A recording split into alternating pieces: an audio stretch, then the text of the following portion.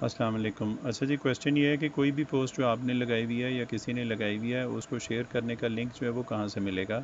तो हम देख लेते हैं कि जो पोस्ट लगाई हुई हैं लोगों ने, उनको अगर हम शेयर करना चाह रहे हैं तो वो कहाँ कहाँ से हो सकता है? तो फॉर एग्ज़ाम्पल हम एक ये वाली पोस्ट चेक कर लेते हैं, जिसको कि एक तो जब ये पोस्ट लगी हुई है, यहाँ पे ही आप देखें कि लाइक कमेंट और शेयर का ऑप्शन आ रहा है। दूसरा हम चलें व्यू जॉब कर लेते हैं, हम इसके डिटेल से इसके अंदर चले जाते हैं।